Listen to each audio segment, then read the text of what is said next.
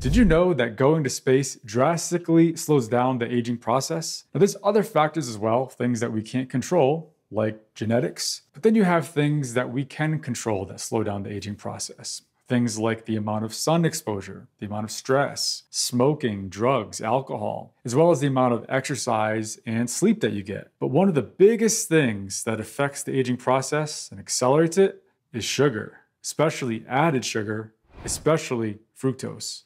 Now, by the end of this video, you'll understand how sugar drastically accelerates the aging process, and it all happens at the cellular biochemical level. The cell is the simplest form of life, and we're made of tens of trillions of cells. Now, in order to stay alive, our cells, they have to have energy. Usually that entails the cell burning glucose, which any cell can do. When glucose is inside a cell, it's broken down in a process called glycolysis. Now, as a result, pyruvic acid is generated, and in this process, some energy is released and captured in the form of ATP, adenosine triphosphate.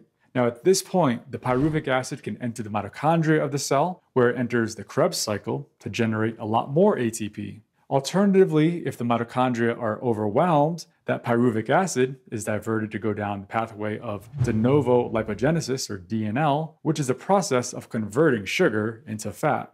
Now, in this pathway, the pyruvic acid is turned into a fatty acid called palmitic acid, which is attached to a glycerol molecule, and then it gets shipped out of the liver cell in the form of a triglyceride molecule. It's the triglyceride molecule that ends up being deposited in fat cells throughout the body. The two energy pathways, especially inside the mitochondria, continuously release byproducts called oxygen free radicals that are actually toxic to your cell. But your cells do their best to detoxify them, otherwise, it'll be the death of the cell.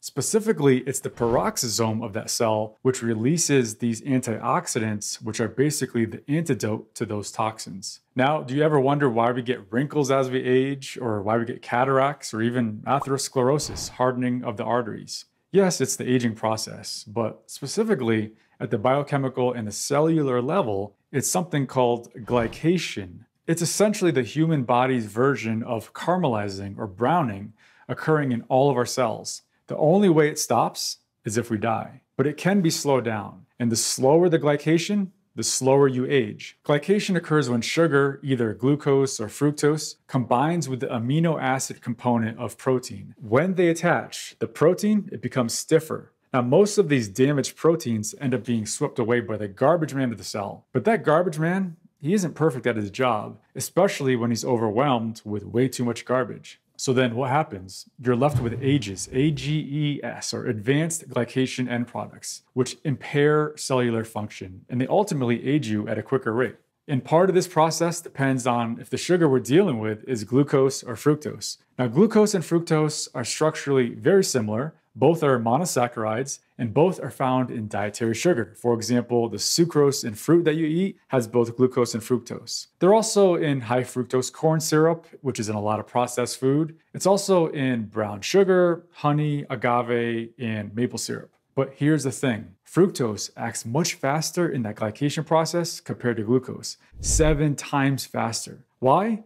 Because fructose is a five member ring structure and it's much less stable, which is to say that it loses its ring structure easier. Now, why is that significant? Because when it converts into a linear form, that's when it attaches to the protein. That's the glycation process. And fructose ends up producing 100 times more free oxygen radicals. And as if that's not bad enough, one of those breakdown products of fructose is called methylglyoxal, and that also undergoes glycation 250 times faster than glucose. So, at least in this sense, sugar is worse than starch, and sugar in the form of fructose is worse than glucose. Collagen is the main extracellular protein in the body, meaning it resides outside of the cells. It's the major component of connective tissue, skin, tendons, and cartilage. Because it's so prominent and has a very long half life and it has accessibility to all that glucose that's floating around in our bloodstream, it's the perfect setup for glucose and fructose to attach to it. This ends up increasing the collagen stiffness, meaning it's less flexible. And that decrease in flexibility, that's a result of those AGE-mediated collagen crosslinks. Now, this occurs not just in the skin, but also the aorta. So it's a huge factor as to why you get wrinkles as you age.